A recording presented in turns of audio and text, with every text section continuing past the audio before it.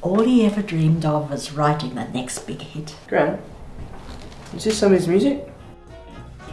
It wasn't so easy back then. Before computers, you had to have a band. Big bands cost money. I thought I had all the time in the world. Then one day I came to realise I'd missed my chance. I'd never leave anything of me behind.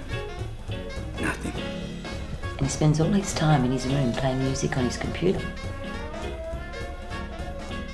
I also made a different version.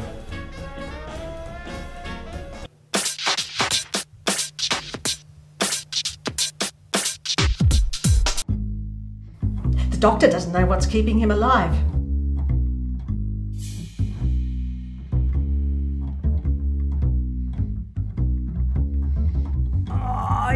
Yes, you did it!